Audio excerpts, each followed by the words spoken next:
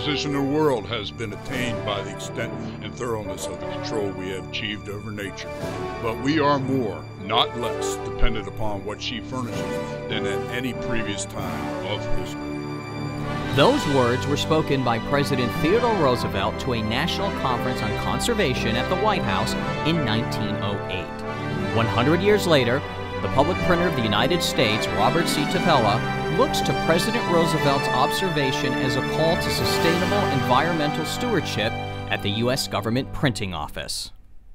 Sustainable environmental stewardship is not a partisan issue. It's good business and it's good government. It's also not a new idea. President Teddy Roosevelt was talking about it 100 years ago. What we're seeing at GPO is a need from our customers for sustainable products services. The employees at the government printing office have been keeping America informed on the documents of its democracy since the presidency of Abraham Lincoln.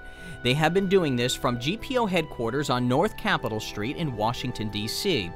The facility is comprised of four buildings totaling 1.5 million square feet. GPO's plant is located on multiple floors requiring numerous elevators for the transportation of the product. The buildings are too large and antiquated to meet the printing and digital needs of the 21st century. The public printer would like to move GPO into the first LEED Platinum printing plant in America.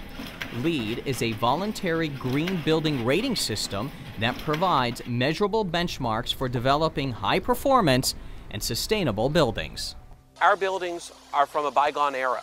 Our newest building is over 60 years old. Since we need a new factory, we need significantly less space, I believe that it is prudent to have the most environmentally sensitive building we could have. GPO is working with Congress on a plan to relocate the facility, but in the meantime, the agency is taking steps to increase efficiencies. An immediate example is improving GPO's roof. This past year, GPO put on a new bio-based green roofing system on a small portion of the facility, and it's expected to double the life expectancy of the roof. The bio-based application that we're applying to the top of our roof is a is a membrane of sorts and it will reflect any light that comes down on it since it's white. Then inside our building, we're not absorbing the heat as we have in the past, so our heating and cooling demands throughout the year will be eh, decreased. Paper is another area where GPO is taking steps in helping the environment. Throughout the agency's history, recycling paper has been a top priority. GPO's plant prints the equivalent of nearly 3 billion standard letter size pages per year. In 2008, GPO recycled more than 5.6 million pounds of waste paper. That's equivalent to about 34,000 trees saved. GPO's baling room is the place where all waste paper throughout the facility comes. The waste paper is compacted and baled. Uh, bales weigh anywhere from 300 to 1,400 pounds. Those bales are weighed automatically, sent down the conveyor belt, loaded into a truck, and sent to a vendor for recycling. GPO prints two daily newspapers, the Congressional Record and the Federal Register. These are produced on 40% post-consumer waste recycled newsprint. GPO is moving toward using more environmentally responsible paper in our plant and for our agency customers. The message that we're sending to our federal customers are that GPO is a leader and we want to be front runners in protecting the environment. GPO has opened a dialogue with the paper industry. The public printer held a Paper Industry Day in 2008 to listen and learn about paper sustainability from paper industry leaders. Also in 2008, GPO began testing 100% post-consumer waste recycled paper. The agency has seen positive results from these tests. Manufacturers have gotten better now. They have the brightness, the colors white, so you're really seeing a good product. GPO has taken a look at its equipment and has made great improvements towards sustainable environmental stewardship. Reducing hazardous materials and waste generation is a top priority for GPO. As part of this ongoing effort, the agency installed a solvent recovery system to improve operations and save the taxpayer money. GPO has reduced its hazardous waste by 90% in this area. We no longer have to haul out that waste, but we're distilling it inside. GPO employees have been working around the clock to produce the nation's passports for the State Department since the 1920s. In 2008, employees produced a record breaking 24 million e passports. 2008 marked another milestone in passport production. GPO opened a secure production facility on the grounds of Stennis Space Center in Mississippi. This operation ensures GPO continues to meet the demand by the American people and the State Department's request of a secure facility outside of Washington, D.C.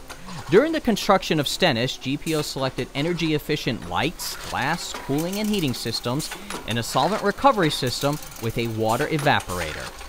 Gutted a building, and we were literally able to start from scratch.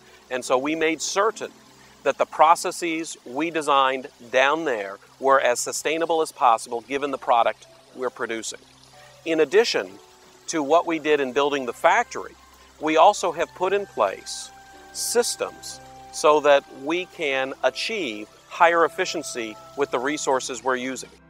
GPO works with the library community to provide free, open, and permanent public access to the documents of our democracy through the Federal Depository Library program.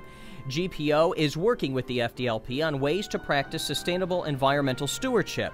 GPO is making resources and printed products available in electronic form only, which will save on paper and reduced waste.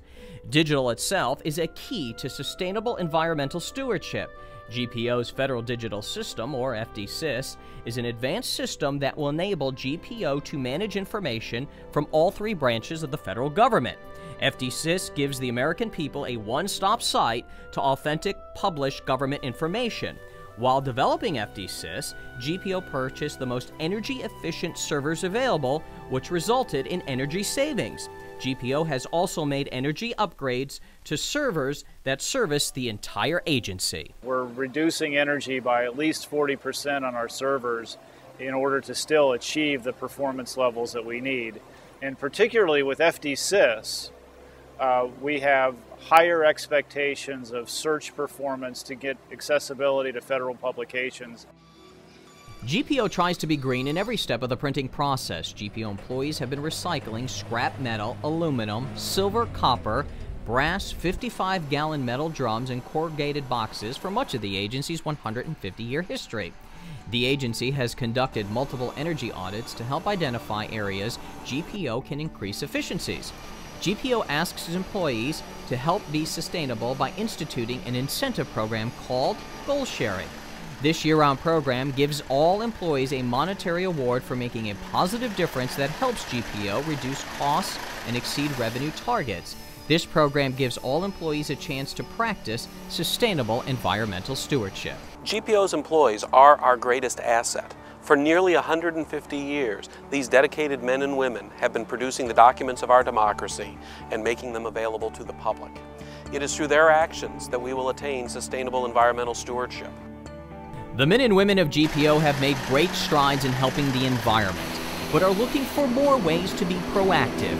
GPO is a model for showing how sustainable environmental stewardship is good business and good government.